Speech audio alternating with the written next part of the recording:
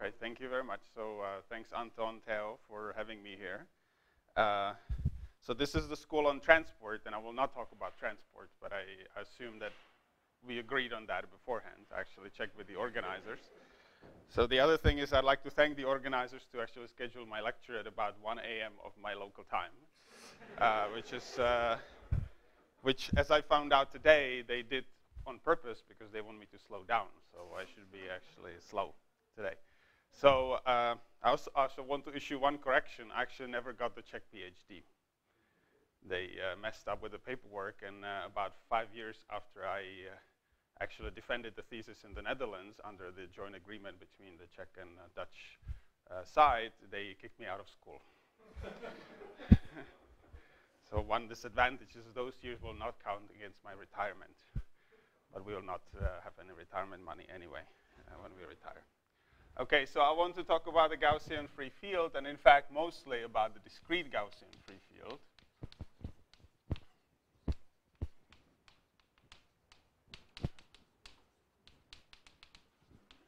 And this is a buzzword that whether you work in uh, this part of probability or not, you probably have heard anyway. It's kind of been coming on in various reincarnations uh, over the last decade. And so the purpose of this lecture is to sort of, you know, equalize what we know and what we don't know in this audience, because I don't know you, you don't know me, and I don't know what you know. And so uh, what I will try to do is to actually, you know, give you some overview what uh, sort of the main things are, give you the definitions, give you sort of the, the, the broader perspective of the field, and gradually kind of funnel the attention to this very uh, pr pretty narrow uh, direction, which is the extreme values of the Gaussian of this Gaussian field which uh, I've had some pleasure to work on with uh, Oren Louidor uh, from Haifa currently. Okay, so let me start with definitions.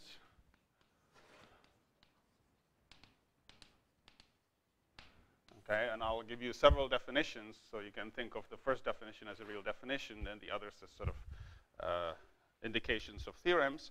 So you can define Gaussian free field, discrete Gaussian free field with respect to any discrete state Markov chain. Okay, that's uh, that's that's the that's the larger area. But I will focus on a specific case where that Markov chain is the simple random walk on the d-dimensional hypercubic lattice. So my play field will be ZD, and I'll later set very soon actually later set D equals to two, and I'll take a D which is a subset of ZD which is finite. And then I define a measure Okay, and then I actually I give you a configuration. I give a configuration hx uh, given uh, for every x not in D. So we'll think of this as a boundary condition. I want to talk about the boundary values, even though later on I'm going to set them pretty uh, regularly to zero. And uh, I'll now define a measure uh, on on the, all of those fields, well, actually on fields in the whole ZD, but the measure will be kind of trivial. So there is some normalization, which I will let you figure out what it is. And then there's e to the minus, let me write this as e of h, uh, product e, uh, you know, so I'll have a Lebesgue measure in here, and then I'll have, outside, I'll have a product of uh, Dirac masses at the value hx. So let's first look at this measure. So this measure, it's, a, it's a really a finite dimensional measure because outside the, the set D, I just take a product of deltas. So this simply freezes the configuration to the value h bar outside. And that's for the purposes that my E will depend on both values. So I want to write it this way. And here I have a Lebesgue measure, so this is the Radon-Nikodym derivative with respect to that. And the E of H I'm going to first let me write you a formula. So this is now a function on, on h's, on h's in, uh, in the whole space. So I'll just write it in this way. So it's a sum over x, y, and zd. Actually, uh, let me not write it like this. Let me write it in uh, d uh, union the boundary of d. So the boundary of d will denote the set of vertices on immediate outside of the uh, of the set d. Uh, and I'll write h x minus hy squared. And now there, there will be a mysterious constant, which I'll write as 1 over 4d in here. Okay? So that's the, uh, That's the, uh, that's the definition, okay? So this, uh, you know, because the, uh, the, e the, this function is quadratic in the h's, this is exponential of a quadratic function in, in the h's, so this is a Gaussian measure. Okay, so this is a Gaussian measure.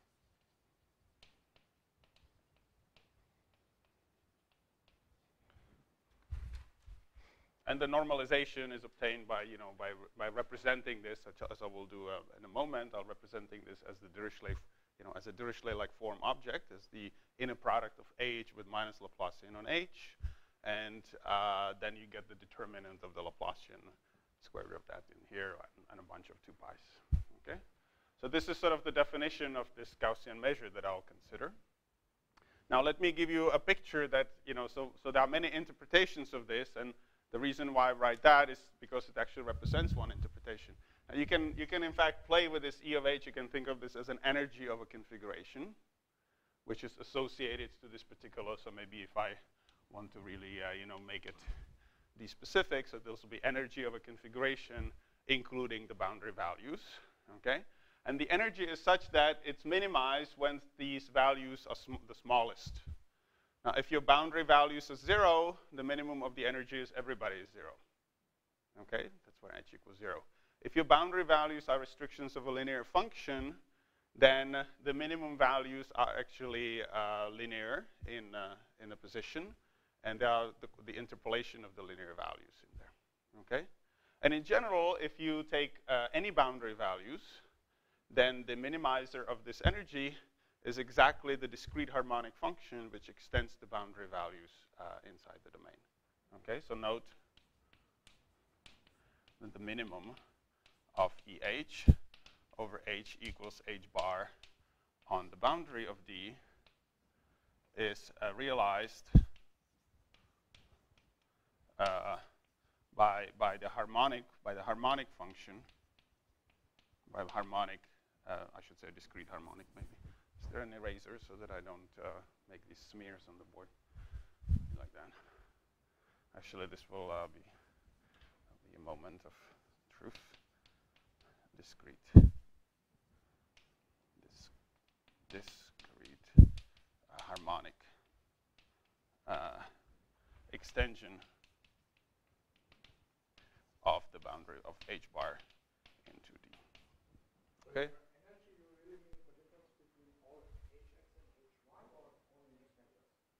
Uh, oh, I'm sorry. This is, uh, this is of course, yeah. I forgot to write this, okay? So it's for the, it's for the pair and, you know, so this, this will generically denote the Euclidean distance in my, uh, in my setting, and this is even true on the lattice. So I take pairs of x and y's which lie in D and, and the boundary of D, and then I, uh, uh, and then I divide, you know, and then I restrict them to one, and I, I realize there's another error because, you know, there's overcounting. I have to, uh, actually, let me, uh, let me do it differently. Let me write it in this form. Uh, you know, these are, and I'll give you, uh, you know, further notation. B of D is the edges uh, with uh, one endpoint in D. Okay, so so what I have is that I have the lattice, and for every pair of nearest neighbors in the lattice, I call this an edge, and these are unordered edges, so undirected. Okay, so each edge gets counted only once, and then this constant is correct. If I uh, do, if I write it the way I wrote it before, then there will be some symmetrization that I would have to do. Okay. I'm sorry.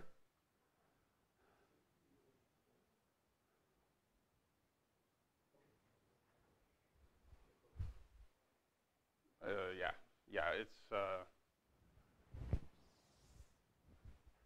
okay, Anton makes me worried. So, so this this constant is a subset sub subject to some doubt.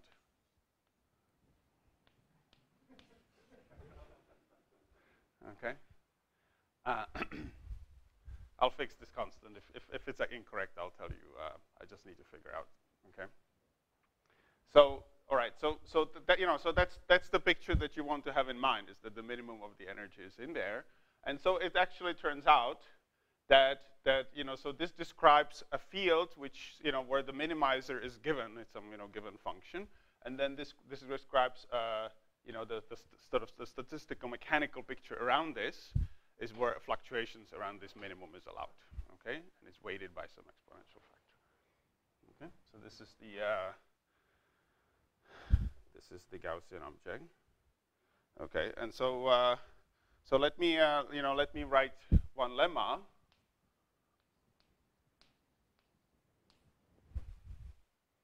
Okay, so so this will be so what what I'll do is that I'll define you know associated with the uh, with this uh, with this uh, uh, you know form is the is the green function. I mean, with the simple random walk is the green function.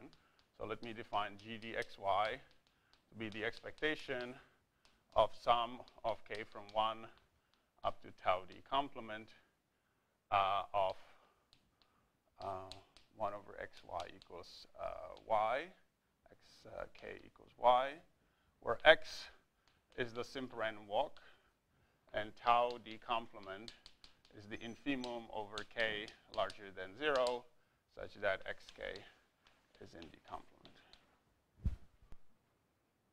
Okay? So this is the, uh, this is the expected number of times the, a walk started at x visits y before exiting from the domain D.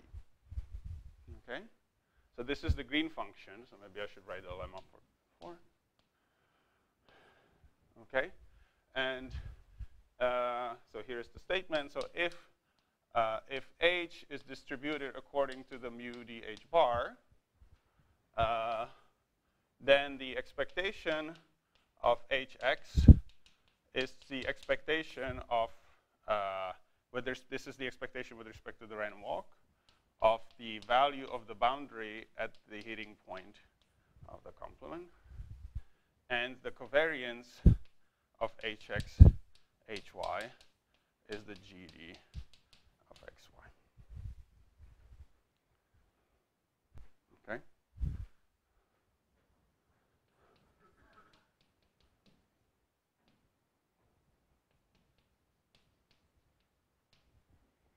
Okay, so I, have decided that along this, uh, along, particularly along the sort of first part of the of the lecture, I'll be sort of dropping various calculations on you that you can check or, uh, or not if you want.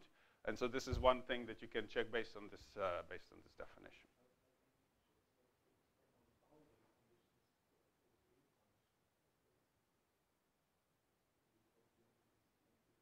No, no, no. So the, the, the, covariance is, of course, independent of the green function. The, the covariance is independent of the boundary values. Right. So, so, so the point is that uh, you know, so a typical way to prescribe a Gaussian, this is a multivariate Gaussian uh, vector. Um, you know, it's a distribution on R to the cardinality of D, and that can be described uniquely by prescribing the uh, the expectation and the covariance. Okay. So if you don't like this specific definition, I can give you that, but that you know this would be quite natural, but this somehow is less. And that's why I prefer to actually give you that definition first and then you know, use it as a derived property. Now, if I, if I were to talk only about the zero boundary values, then I would in fact start with here. I would just, you know, because this line would be trivial and then and, and this definition is sort of more compact anyways. Okay? Uh, I'm sorry?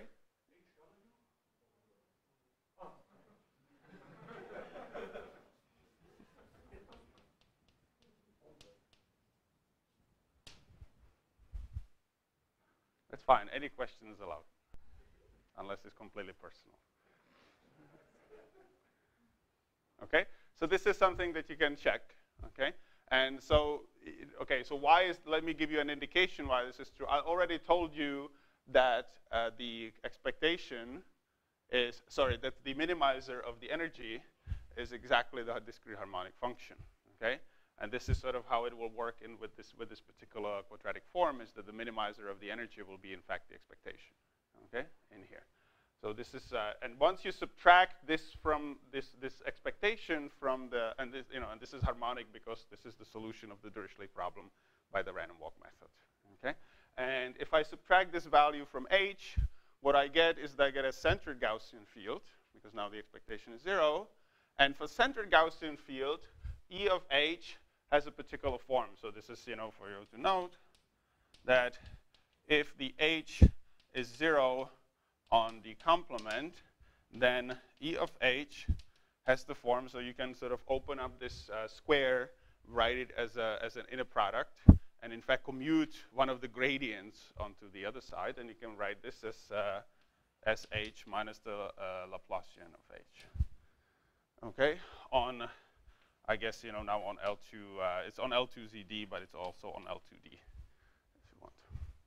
Okay, and uh, then this, you know, so then your, then your uh, Gaussian field is of the form h, the covariance to minus 1h, so that tells you that the covariance is the inverse of the minus Laplacian on the space of L2 functions which vanish outside D.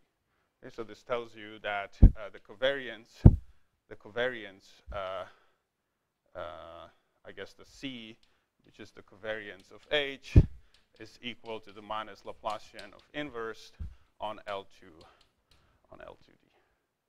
And uh, the green function is exactly the, uh, the inverse of the generator of the corresponding Markov chain. Okay, so these are all the, is there some power, am I not breaking the uh, motor? Okay. Okay, so this is just, you know, a very gentle definition of, uh, you know, to the problem. Now, um, you know, there, there, there, are a few other, maybe I should actually write this uh, in here. So other, other occurrences of the discrete Gaussian free field that you find in the literature. So one of them is that if you study the Langevin dynamics on uh, you know, random surfaces. Okay, so in, in, with this particular definition, if you start modifying this, you get a larger class of random fields, which are, which are called the gradient models, where instead of the, the square, you write the general potential in here. And you can study the dynamics of these as well, where, uh, so let me write the dynamics only for the, for the Gaussian free field write it in the H language. So I'll have a function of x as a function of t, and then I'll have a minus Laplacian of h uh, uh, at x at t dt uh, plus square root of 2 db uh, x uh, t. Okay, like this. So I write the t's to remind you that everything depends on t. So this is a this is a family of coupled stochastic differential equations for all x for all x and D. And then, of course, you take uh, h equals h bar uh, on uh, D complement. Okay? So if you take these equations, then uh, then you know so then then this this dynamics has two effects. Of course, these are independent standard Brownian motions, so they tend to make the uh, the, the, the, values at each vertex uh, independent of the other and kind of make the field very rough. Okay, because two Brownian motions will you know gradually separate by more and more. This, on the other hand, tends to equalize the fields because if, if you're at a point where you're smaller than the neighbors, then the Laplacian is positive. Okay, so the, then the, uh, uh, I guess there is a plus sign then. Yeah, right, right. Yeah, it depends how you define the Laplacian, which I haven't done yet, so I still have the liberty of changing my mind. Uh, but if you take, so let me uh, define it here. Okay. So I want the sum over all y, which are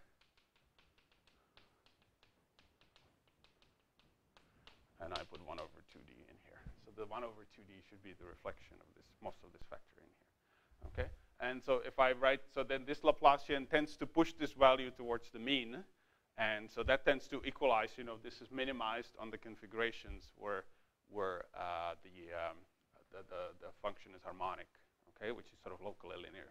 And, and the coupled effect of these equations, of these, of these two things, is that there's an equilibrium measure, and the equilibrium measure is exactly this good measure. Okay, so then uh, mu uh, d h bar is the stationary and reversible uh, measure uh, for the Langevin dynamics in here. Okay, so that's another way to uh, simulate, in fact, the Gaussian free field. Okay, so that's uh, you know, so that that's where all these things appear, um, and and of course, you know, the, the the original, and so when you talk to physicists about Gaussian free field, they'll say, oh yeah, this is trivial, okay, Why is it trivial? Because it's a Gaussian, uh, because it's a Gaussian model. So all cal calculations of all basic covariance functions are uh, readily available. And uh, you know, for, for, the perspective of interacting field theory, this is this is the trivial case. Okay. Now, I guess what happened in the last 15 years in probability was that mathematicians proved the physicists wrong. There's a lot of interesting effects that the physicists have overlooked and it requires you to talk about the pathwise, pathwise properties and which are not visible in the, in, in, at the level of the covariance of the co correlation functions. Okay, so this is, uh, you know, this is the introduction. All right, so let me now move on to some, uh, some observations want to make. So, two. Okay, so the, so the d equals one case is actually easy even for mathematicians. Okay, so let me uh, no notice that. So if you look at, you know, so let d, you know, d in this case, let me take it to be an interval. So from minus n to n intersect z. So let me take it to be that set. Then of course this is this has only two boundary values. And if I look at the and then the measure is the sum of the differences over the nearest neighbor squared. Okay, so then then if I look at the values xa minus xh minus 1 for x running from, I guess, n minus n all the way up to n, these are IID normals with mean zero variance. I guess uh, if these one, then I get, of course, I get a half. Uh, conditioned on the total sum of these uh, to be the value at, uh, I guess, minus n minus 1, uh, sorry, plus n plus 1 minus h bar of n minus n minus 1, okay? So if I did not have, if these values did not have to add up to the boundary values, if one of my boundary values was, you know, left uh, to fluctuate, then these would be honest independent random variables. Otherwise, they are just conditioned on this value. Okay, so this is the Gaussian random walk conditioned to visit two points. So this is the random walk bridge. So the configuration is, uh, is a random walk.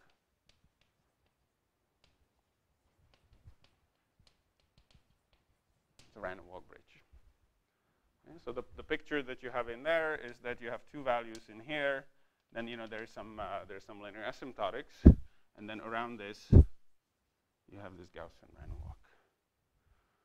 And since you know this has all moments, uh, what we can uh, we can prove essentially a full asymptotic. So the scaling limit of this, uh, if I scale the space and time uh, space diffusive space and time diffusively, is uh, is the honor on honest Brownian bridge, and so the configuration will fluctuate around the linear asymptotics by quantities of order squared of n. Okay, if this is and in particular, if you're interested in the laws of the maximum, the, the maximum will be of order, I mean, even if you put zero boundary condition, the maximum will be of order squared of n, and it will be distributed as the maximum of the Brownian motion, which is, uh, which is essentially a positive, uh, the absolute value of a normal random variable. Okay, so, so all of these things we, we know. So the, the d equals one case is actually not that, uh, not that hard. Now, if I look at the larger equal than three, then uh, then uh, the, the fact that the simple random walk uh, is transient implies, or is equivalent in fact to, that the green function, so the green function at, at a single point xx, that's just by the fact that, uh, you know, the formula, if I, if I increase the d, then of course the hitting time of that larger set will be larger than the hitting time of a smaller set. This is bounded by the green function of the whole uh, of the whole lattice, and then in three and higher dimensions, this is uh, this is uh, finite. I'm sorry. What is? Oh, transient. Yeah, yeah. Transient means that's the probability that you know. So, so the, the in fact, what this tells you is that this is this tells you that the expected number of times a random walk started from zero expected number of times it returns to zero is finite. And so it tells you that, in fact, the probability that it returns infinitely many times is zero. And that's the definition of transience, okay? And it's enough to characterize it in terms of the expected uh, number of times, okay? So the transience of the simple random walk implies that the green function is uniformly bounded in X by this property. And so that tells you that the, uh, the random variables, these Gaussian random variables, regardless of the mean, the, the variance will be bounded. So this tells you that this is the variance of hx. Okay.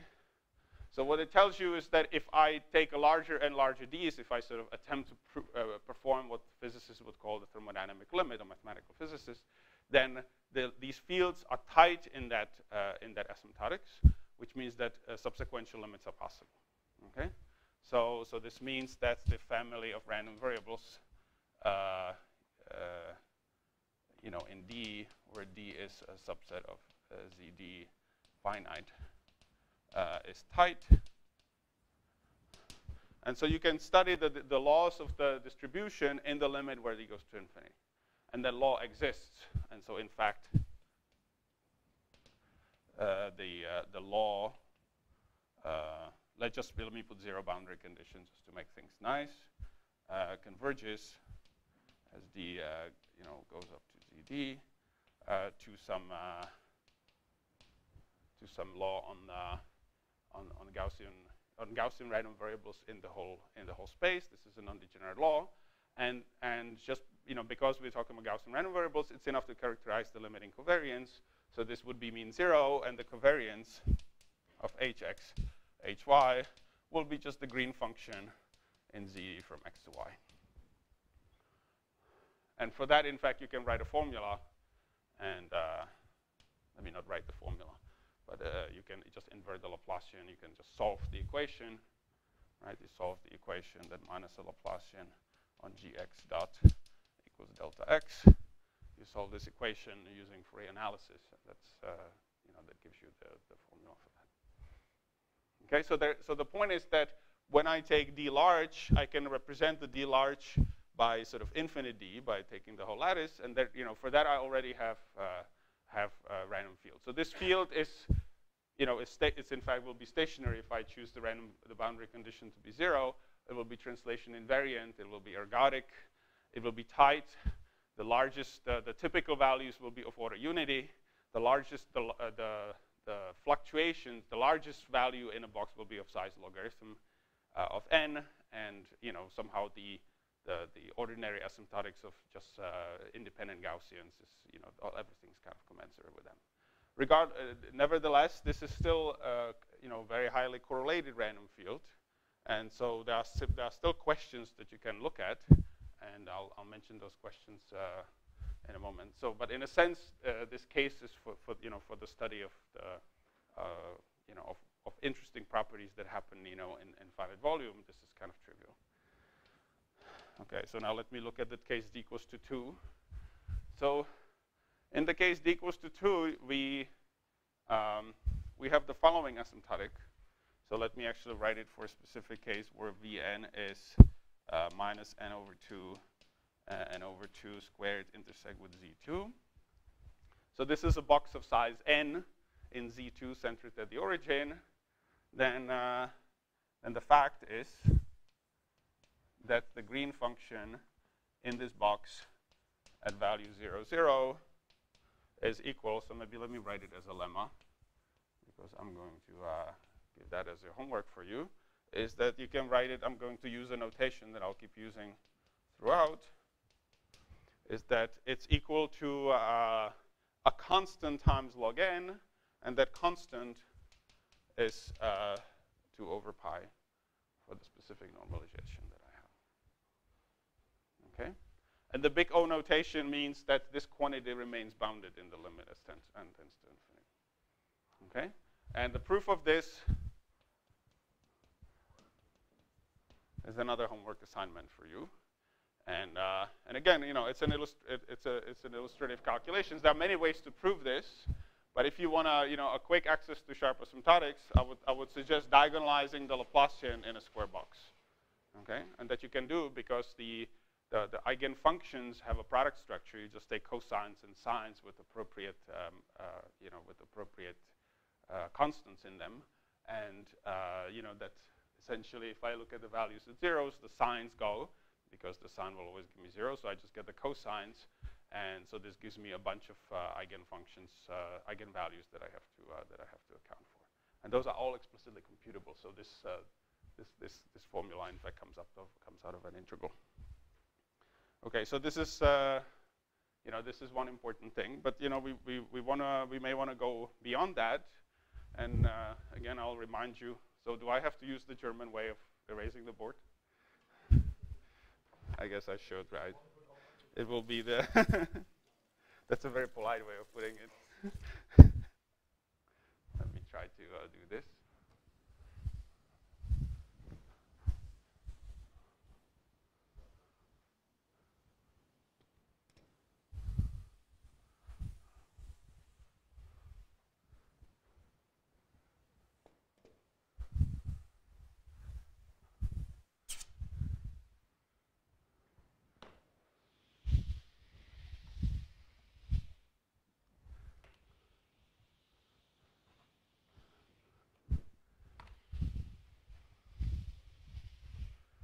One disadvantage, and this is I didn't realize, is that all these chalks will get soggy. and that's not what we want. Or broken, for that matter.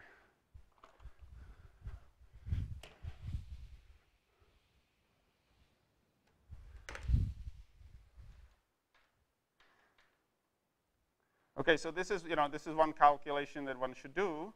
Uh, you know, there is, of course, the reason why you get a logarithm comes from, uh, you know, comes essentially, and, and, you know, all of this comes from a scale invariant property of the Laplacian in two dimensions, uh, and also the scale invariant property of the Brownian motion in two dimensions.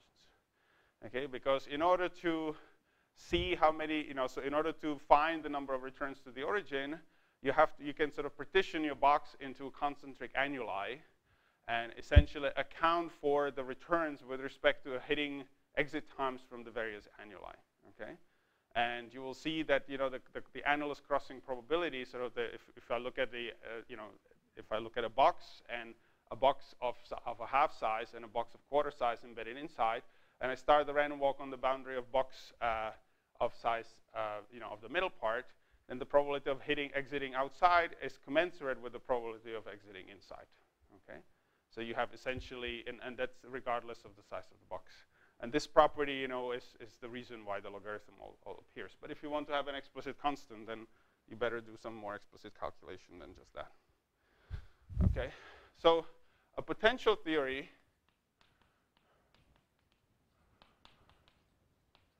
uh, of the two-dimensional simple random walk actually tells you, and this, you know, this goes back to um, to the book by Spitzer, for instance, he, uh, he writes it very explicitly, is that if I look at the green function at box Bn, and I look at the value at 0 minus the value at uh, x, okay, so this is the expected number of returns to 0, and this is an expected number of returns to x. And x is some fixed fixed, then this converges as n tends to infinity to a function which only depends on x. So the limit exists and it only depends on x. And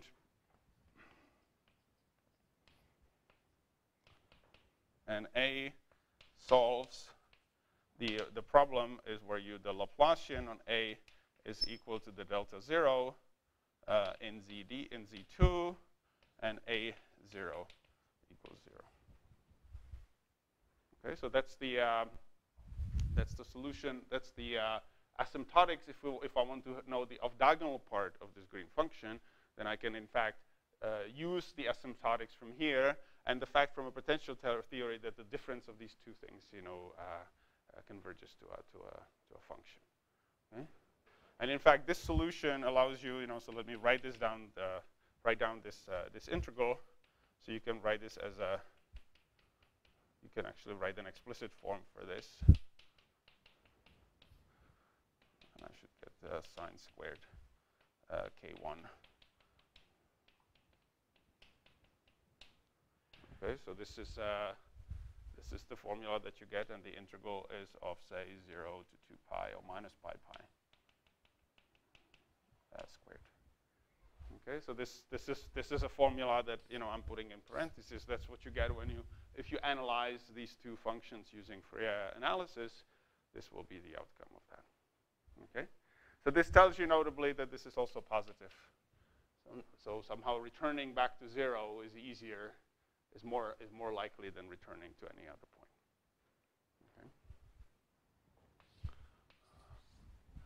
Okay, okay so so uh, you know what's important is that when I take this formula, I can do some asymptotic analysis, and this has in fact now been done in, in many cases. And the asymptotic analysis in two dimensions for these uh, for these you know class of walks with uh, square integrable moments always gives you a form that that there is a constant that multiplies a log x, then there is some uh, numerical constant, and then there are quantities which vanish as, as n tends to infinity as x goes to infinity. In fact, it's known that the second, the correction term is 1 over the distance squared. Okay, so it's something which is uh, finite, which goes to 0, but it's not quite summable on x in two dimensions. Okay? So, so that's, that's what's important, is that there's also the logarithmic dependence of this quantity. Well, it's not surprising. This is the, uh, this, you know, in, in, in, in, you know, this is the green function at, in the, in Z2 with the point 0 taken, taken out. Okay, so the uh, a of x is actually the green function at z2 uh, uh, right xx 0.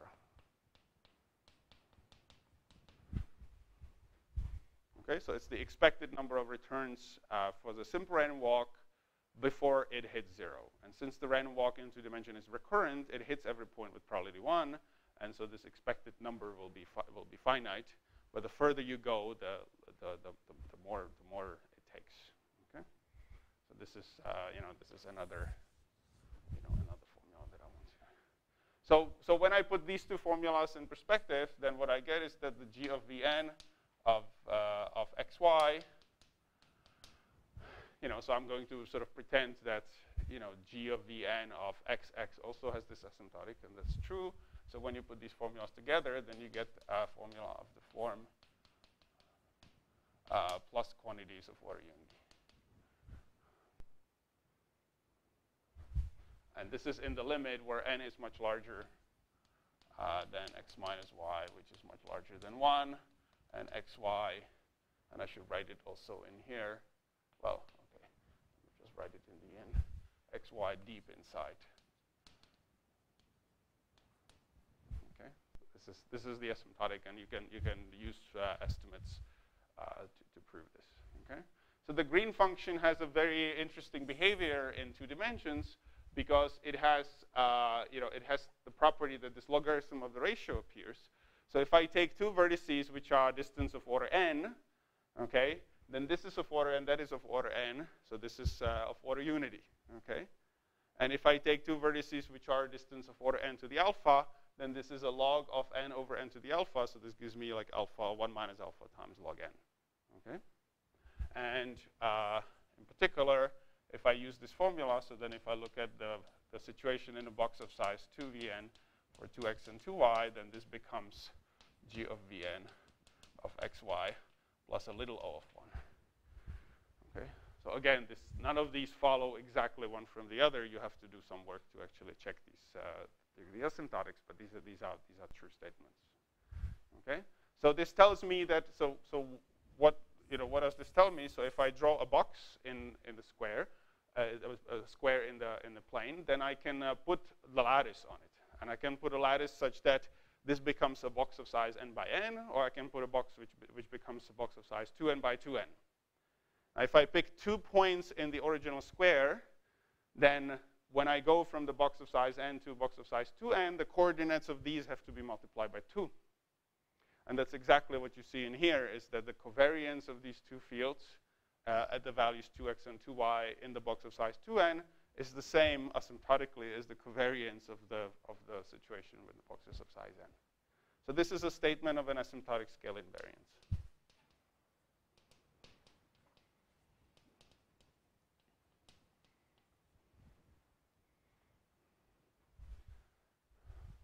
Okay.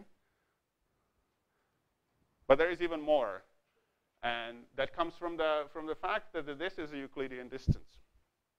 Okay, and Euclidean distance is generally invariant under rotations. And so not only will the field have asymptotically in the limit and tends to infinity scale invariance, but will also have a rotation invariance.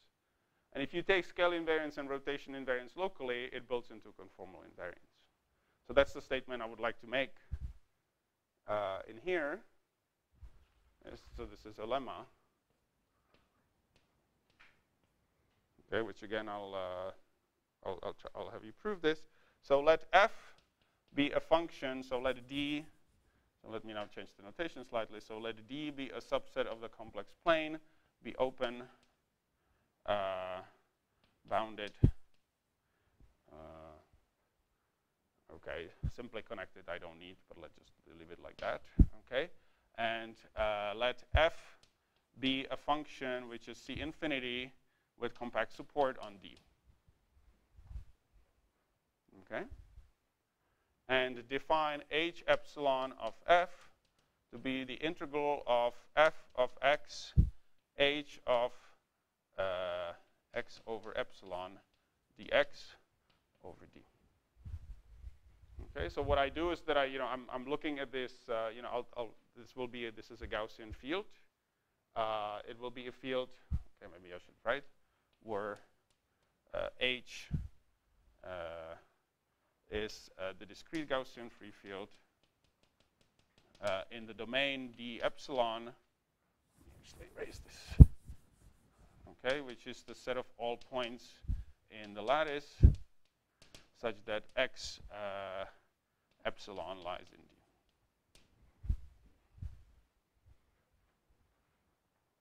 Okay, so I take I take a nice set in the in in the complex plane. I uh, open and I take the set of all points such that their epsilon uh, scaling uh, lies in that set.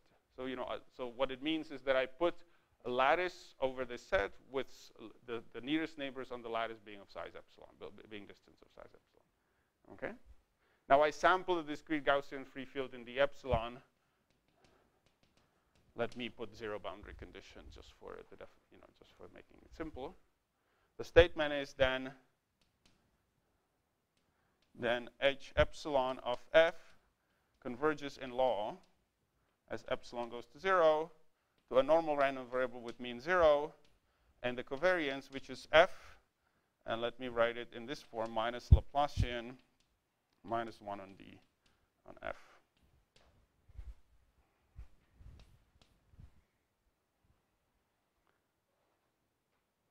Okay, so I take I take the I take this field, I project it onto the corresponding uh, onto the corresponding function. So I take a linear functional defined by this function and by this random field.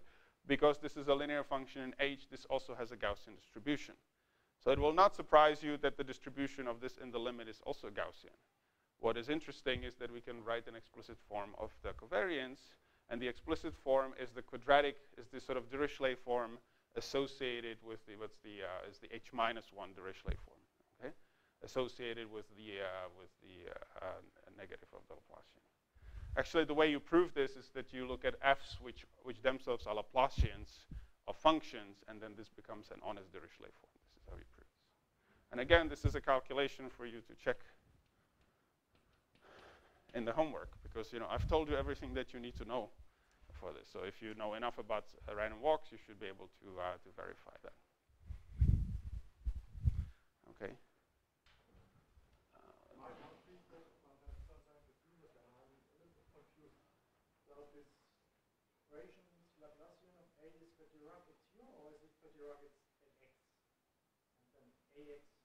No, no, no. It's a Dirac. So this is a function. So this means that delta.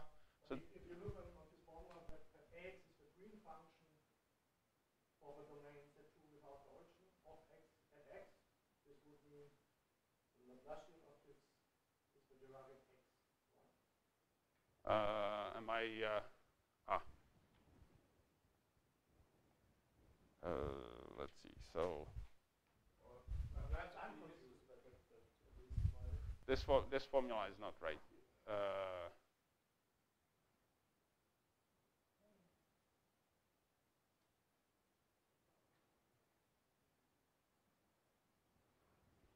just let me say thing.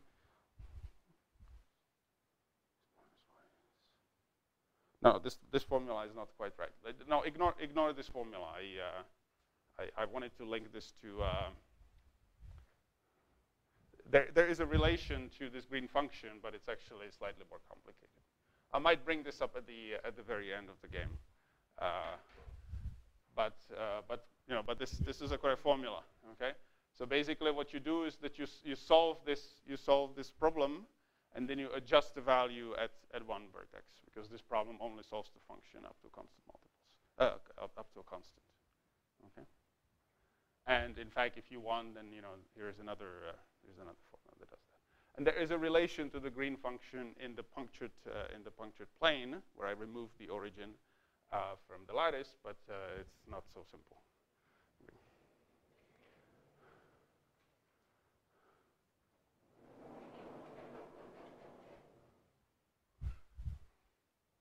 Okay, so that's uh, that's the oh, that's the point. So so uh, you know again, this is a calculation that you you know you can do um, because as I said, you know the, the way to do this is to actually write f as uh, as a Laplacian of uh, of a function, and uh, and then uh, you know, you know, write the covariance of these h's in the in the specific domain, and then somehow use the fact that f can be, uh, you know, the Laplacian can be inverted on f to uh, to to write that explicitly.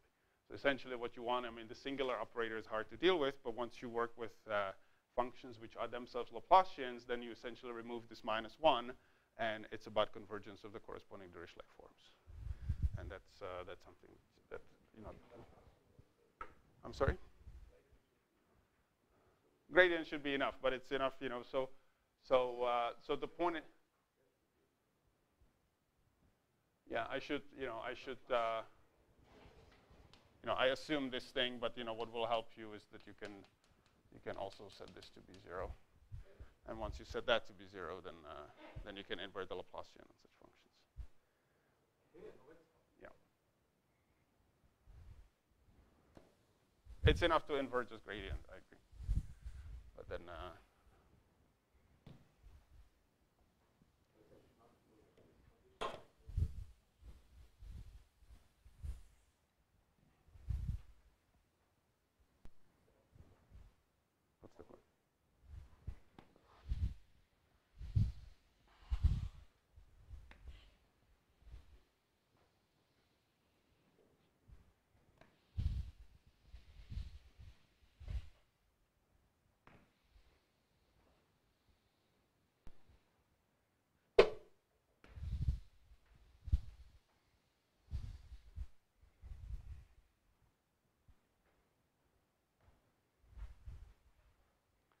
Okay, and a consequence of this fact is that the, uh, that the field evaluated on such functions is in fact conformal invariant. Okay, and that has to do with the, uh, with, the you know, with the conformal invariance of these properties. Okay, so it turns out that if I, that if I look at the, let me not state this formally, so if I look instead of a function f, I look at, I look at a conformal bijections of a domain into itself, onto itself, using some conformal map, and I look at the f composed with this map, then the law of this h epsilon on that f will be equal to the uh, h epsilon law on the, uh, the other function. Okay? So that, that essentially is the, uh, you know, is the statement of the conformal invariance. So, so the conclusion, so, so in fact, uh, the, uh, the asymptotic law is conformally.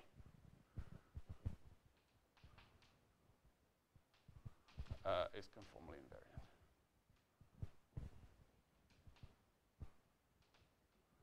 And I'm not, you know, I'm, I will not go into this for quite a while because I'll actually never need this particular statement. Now, notice that the asymptotic law is not the law on paths, but the law of these projections. You integrate, you integrate the, the random Gaussian function against, uh, against a smooth function. So you, you might ask, you know, is there in fact a pathwise realization of this? And the answer is no. That comes from the fact that the green function, this was on the board which I already raised, you can look it up there. If I, if I take the diagonal uh, value of the green function, that it's g log n. So the variance of an individual hx diverges as n tends to infinity, and there's no way to ascribe a meaning to that. Okay? So this law only exists as an asymptotic law on some linear space of functions, which is sort of the closure of the space of, the of these uh, C infinity compactly supported functions with respect to some natural, uh, natural norm on this. Okay, say with respect to this, this particular norm. Okay, so on that, on that space, you can define the asymptotic law of the Gaussian free field, and it has the conformal invariant property, but you cannot really talk about values at a point. Okay. All right, so I want to, uh, you know, I want to move to uh, level set uh, description.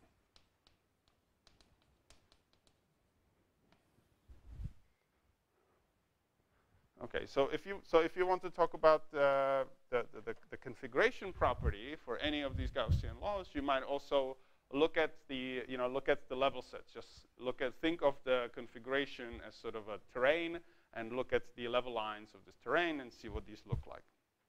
Okay. So in the case d larger than three, this is in fact still quite an interesting problem. So if I take the discrete Gaussian uh, free field on on zd uh, with with mean zero, okay then uh, you can still look at, so you know, this will be probably the last time I'll talk about high dimensions, so let me do this here. So I can look at the set of values where hx is larger than some alpha. Okay, so this is the alpha level set. And the question that you may ask, uh, for what alpha does this contain an infinite connected component?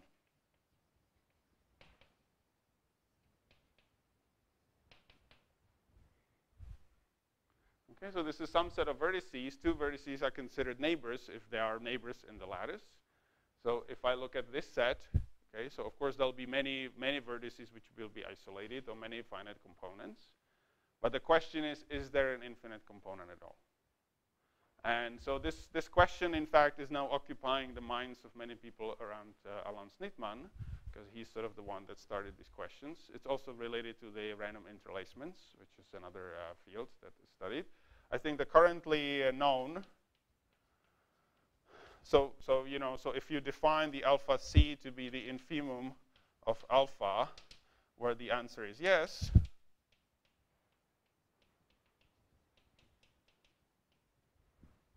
okay? The answer is yes with probability 0 or 1. This is a 0-1 event because it's a translation invariant event, and this, uh, the, the corresponding measure is ergodic. Okay, and so if you take the infimum of alpha, so it's known that alpha c is larger or equal than zero. But it's not known whether it is zero or whether it's positive. You know, some more information is known in higher dimensions. So this is, uh, so alpha c equals zero or not uh, is open.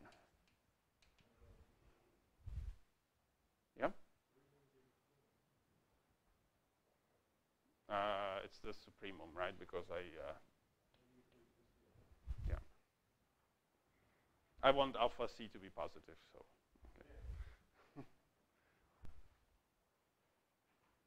Okay. okay. So the question is, you know, if you truncate the, the and then you know, then you have a two-sided questions. You can take fields. You can take a level set between minus alpha and alpha, and ask what for what alpha is it going to uh, is it, is it going to contain an infinite component? And again, the uh, the answer to this is not known in general. Okay? So this is an interesting field of study, and then you know I would just uh, and uh, I guess Rodriguez.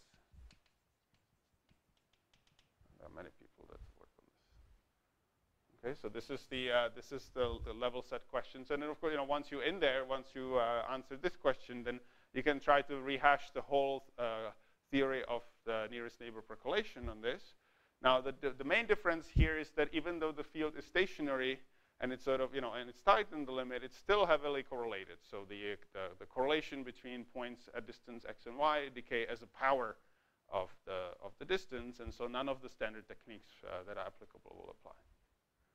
Okay? So in d equals 2, you can, uh, you know, you can first ask the question uh, of the uh, 0, 1 level set. So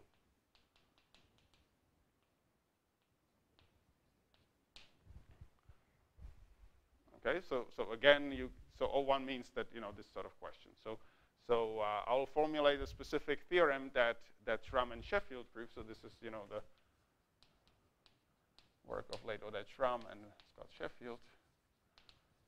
In fact, then it's pretty much just Scott's, uh, uh, it's pretty much the, uh, the you know, I guess the, the, the, the, very important contribution of Scott into this field is that he sort of brought this Gaussian free field into the limelight of probabilists because uh, it was considered to be trivial and kind of not, not really noticed uh, significantly. Okay, so the theorem is as follows, is that if I take a sequence, so if I take a sequence of domains, so dn is the sequence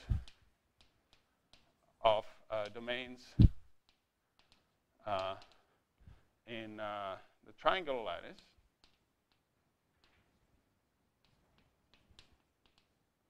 uh, with scale 1 over n.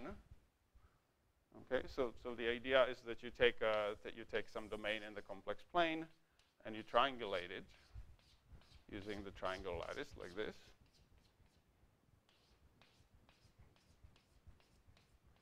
So these two are easy, and now you know one has to sort of make sure that. Okay, you can imagine. Okay, so I triangulate it like this, and suppose that I take a, you know, I take a fixed domain and I keep triangulate it so that the scale is one over n. And then what you do is that you look at a Gaussian free field, so you look at two marked points on here. So let's just call this A and B. I have two marked points, and I put two different bound. I put the boundary value equal to one constant over here, and another constant over here. Okay, so the value is some minus lambda in here and some lambda in here. Okay, so, so the mean of the, and uh, look at a Gaussian free field on this lattice. So this is not exactly the setting I had before, but the statement is the triangle restriction. If I look at a Gaussian free field, the mean will be the, the, the harmonic function which interpolates between these values, okay? So somewhere there will be a, you know there will be a part where you know where uh, this goes from negative to positive values. Just think of lambda as positive. Okay. However, that also works coordinate-wise. If I take any sample of the field, I know that the values over here are positive and the values over here are negative. So I can just go uh, one vertex after another, and I can, uh, you know, so so so this, you know, I can go between the vertices and I can sort of start to draw a line which tells me the, the, the, the, the distinction between the points where I see positive and negative values. Okay, now I'm drawing it sort of slightly boring, so you know essentially it will come up to be like that. So I end up to draw uh, some curve that separates the, the positive values and negative values. There are many curves like this, but all the other curves are closed, and this is the only open curve which starts at these boundary points. Okay, so let gamma n be the curve, the discrete curve, separating, connecting the two mark, mark points, A to B. Okay, so that's the curve gamma in there. And then the theorem of Schramm and Sheffield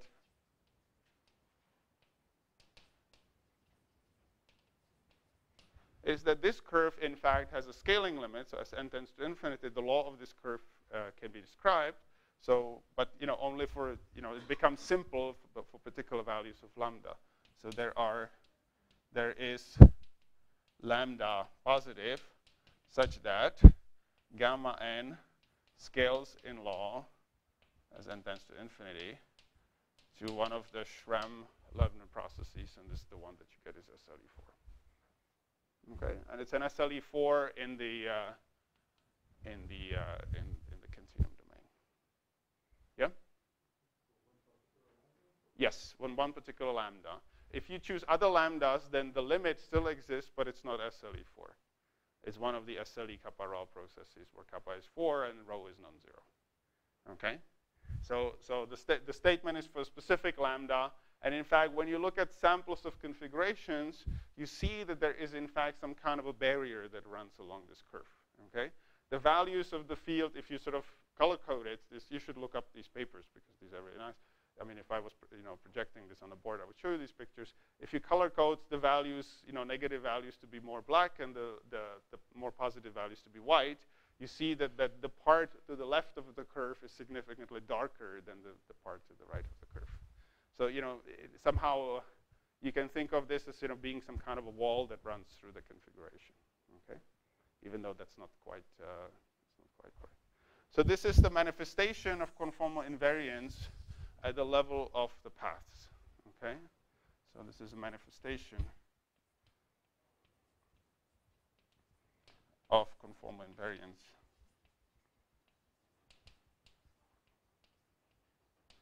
at the level, at sample paths, at level of sample paths.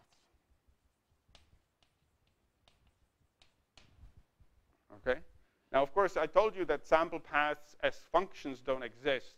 So there's nothing like taking the continuum Gaussian free field and uh, identifying the level sets running through it. The best thing you can do in this case is that you can, in fact, do the following. You can take, you can take an SLE kappa rho curve, and you put a boundary value minus lambda on the left side and plus lambda on the right side. You consider a Gaussian free field left of it, an independent copy of a Gaussian free field to the right of it. And now you take the joint law of all of these, but you stop looking at the SLE4 curve. And what you see, you know, once you integrate out over the, uh, the, the, the, the curve, you see a Gaussian free field in the whole domain. Okay, so there is a way to introduce a coupling of the continuum Gaussian free field in the left part and right part through this random SLE curve that jointly gives you the law of the, uh, of the Gaussian free field in the whole domain. Okay? But again, only in the sense of projection onto the space of uh, nice and smooth functions. Okay? So this is the uh, this is the level set asymptotics for the O1 level sets. Okay, so so now I would like to you know so our goal.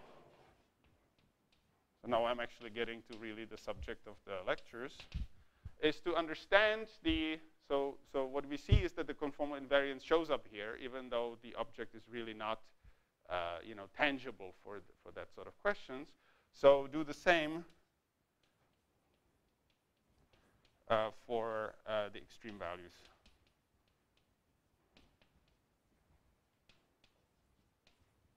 of h. So what I like to do is I like to look at, say, for instance, the maximum and show you that the maximum admits a description which encodes conformal invariance in, in, some, in some way. Well, for that, I'll first have to, let's see, I'm about an hour, right, through. Okay, so let me actually, uh, if this is not a bad time to, I'll, I'll kind of wrap up the questions that I'll, uh, I'll do. And I,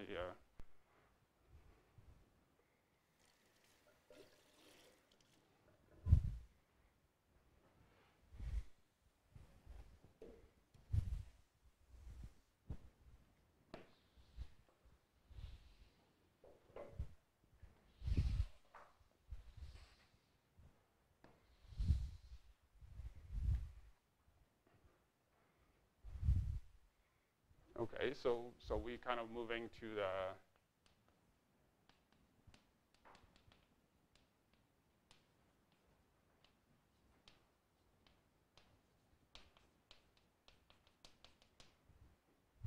Okay, so so here is uh, you know so so you know the question one is what's the scale of the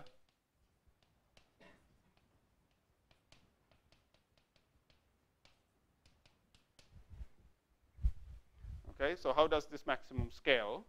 And the answer to this is a theorem of uh, Bolthausen, Giacomin, and uh, Deuschel is that this maximum as uh, as n tends to infinity scales like 2 square root of g log n. Okay, so the maximum itself will scale like a logarithmic function. Okay, and uh, I'll show you at least, you know, there's a simple argument for the upper bound, which, uh, you know, gives you the, the, the, correct upper bound term, but then incorrect uh, second order term. And, and if, I, if I understanding the second order term is key in, in, this, in this business. And then uh, And then the question is, what's the structure of the set uh, x in Vn such that hx is uh, larger than uh, uh, than the value, you know, than uh, the maximum. Let me write it in this form, even though I'll formulate this slightly different, minus a constant. Okay, is there such a description? And the question is, what alpha? What alpha? How to scale alpha?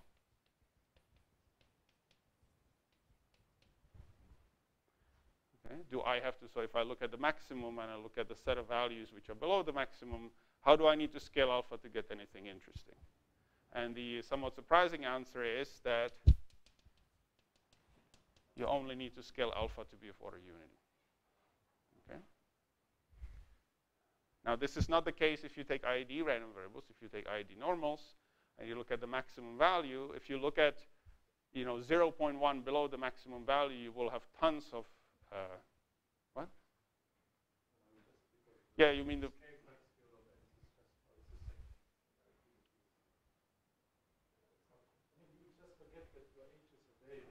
You mean that the, if I take them of the variance, yeah, okay. But if I take them to be variance one, then of course then there is a, yeah.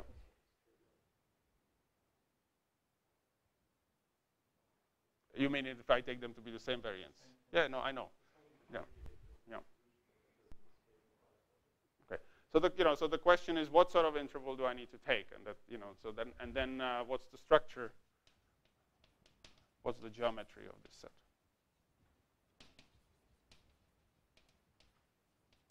Okay, so the question is, you know, how are the points in this set distributed? Uh, you know, is there some qualitative description that will tell you, you know, how they are, how far they are apart? Okay, so it turns out, so you know, so that's essentially what Anton says. Is it turns out that at some level of coarseness, this looks very much like the situation for independent random variables. Okay?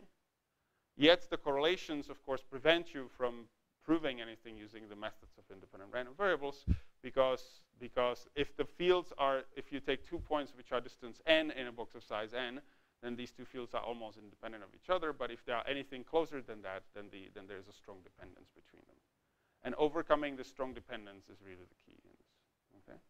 So I'll show you how to answer all of these questions, and in fact, how, the, that, how to show you that, that, well, not this set, but how conformal invariance, in fact, enters in this picture as well. Okay. But that will be tomorrow. Thank you.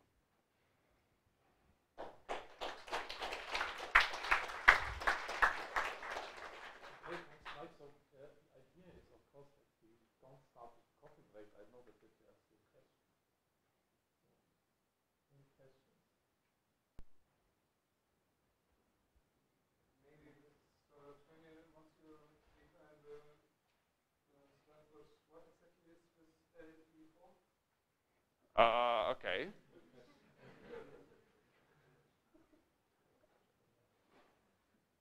Okay, so it's a it, it's SLE4 is a family. So in this context, just think of a domain. So SLE4, which will be the chordal version, is a family of curves between A and B.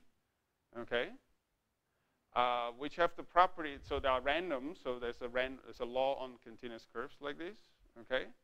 And the law has uh, you know, this does not define the law completely, but it has the property that it's uh, conformal invariant, so that if I take any, uh, any uh, conformal bijection of the domain onto itself, which preserves these two points, there's a one parameter family, it preserves the law. And it has the property that if I erase part of the curve, okay, up to this point, if I look at up to this point, then I get a curve, then, then what I have is that I condition on this part of the curve, so then I get a new, yeah, you are obstructing. I think you're still obstructing. uh, if I look at this curve conditional on this part, the law of the curve that follows in here is the SLE4 in the conformal image of the domain where this has been mapped to the original one, where I have removed this part by mapping it, and this becomes the new at that point. Okay? So the SLE curves are characterized, so the first property is conformal invariance. The second property is what's called the conformal Markov property. That if I condition on the part of the curve, what I see uh, in the remainder is an SLE in the corresponding reduced domain. Okay? And of course, the conformal invariance allows me to go between one domain and another for simply connected domains. Okay, and th then there is one parameter family of curves like this you have, and when you set that parameter to four, you get SLE4. Right, so there is also a differential equation description. There's many ways to, to characterize this, but this is this is Schramm's theorem, which said that if you have a curve with this property, then you get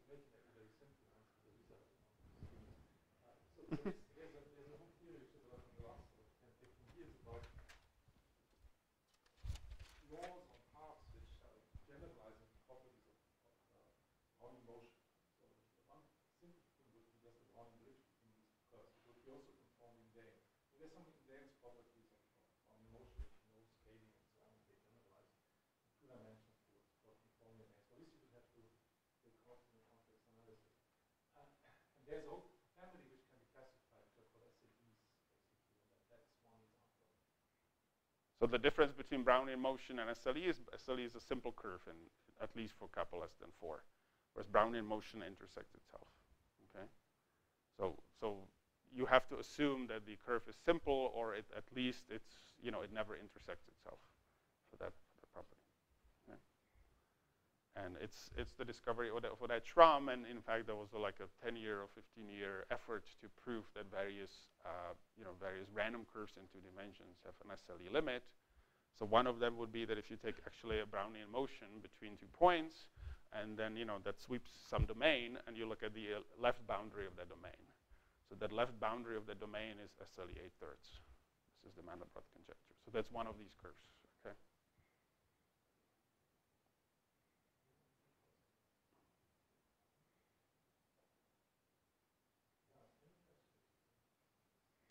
Uh, I wouldn't mind hearing some feedback, you know, how, how deep you want me to go into various things. So, you know, I decided this lecture to be kind of overview because I wanted to, well, I want to look, I want to see a look in your face after the lecture, which already troubles me slightly. And I want to, uh, and I want to sort of make sure that, you know, we on for the next, uh, whatever, three times 75 minutes or, or 60 minutes. So, you know, I can adjust the pace, I can adjust the material to tell you something that you can actually, uh, Uh, you know, get in, in, in, in that time. So you don't have to tell me now. You can tell me, you know, in private, in, in, in the men's room, for instance. You know, if you're too shy to tell me in open public.